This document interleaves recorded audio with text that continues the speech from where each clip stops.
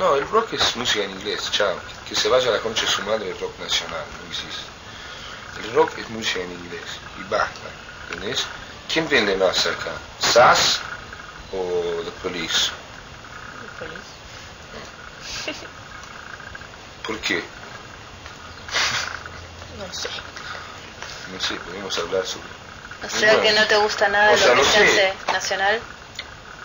Mira, a mí, yo tengo, no, no, no es tanto que no me gusta la música misma, es que, que la, casi la totalidad de los músicos de rock argentinos son unos, unos pajeros. ¿Entendés? Yo no lo invitaría a comer a mi casa.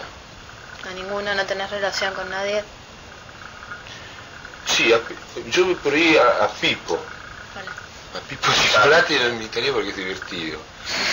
Pero no sé, Alicia, hablamos de alguien que está famoso ahora, no sé, Miguel Mateos, aunque votó a Sumo en ese coso como el mejor conjunto, Miguel Mateos votó en a Sumo. Casi me, me quería matar cuando dice eso.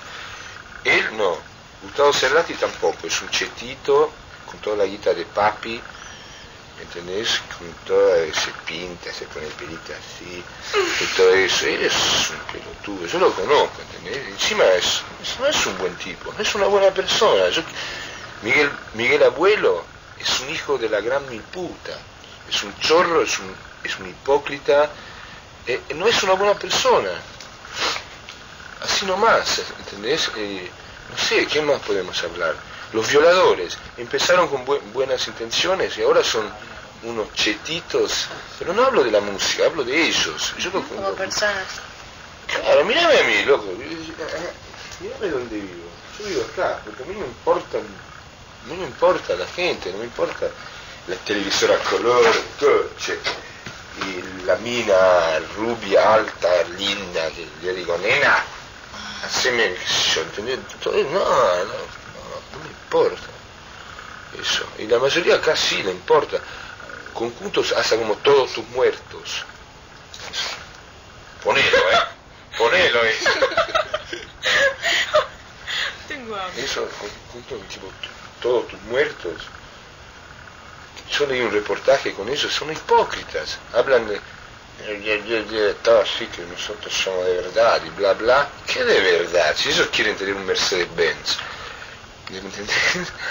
O sea, es todo mentira. Todos quieren, tocan dos veces en el centro paracultural y piensan que son, no sé, Jimi Hendrix, The Beatles. Y son tres, cuatro pelotudos de Villa de Roto. ¿viste? ¿Qué, qué, qué carajo me estás diciendo? eh? No, yo no, eso yo vivo de la música. eh. Eh, claro, a cualquiera le gustaría ser famoso. Hasta que te peleas con tu novia, salís a la calle y hay 40 idiotas en un colegio que te, te piden autógrafos y vos estás ahí realmente mal y tenés que ser, si no dicen, ah, es un agrandado. Te- Bueno, eso es, pero no, pero a mí no, yo sigo siendo lo mismo. Hasta me puse más, más mono. Vez de ponerme más así, en mi ropa más, me puse siempre más hecho pelota.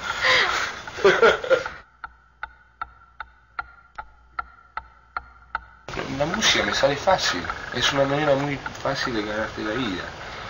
No tuve que estudiar, porque me sale. Si yo quiero ahora voy y compongo, pongo una, una- hago 10 temas. Ustedes vuelven en, en- 10 temas que sirven. Vuelven en dos horas y están 10 temas. Pero no hago por ser un vago.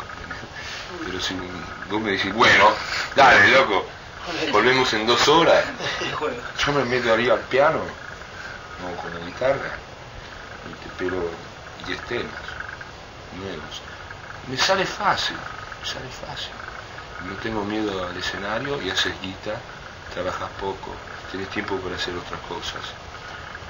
Y, y- y nada, viajas,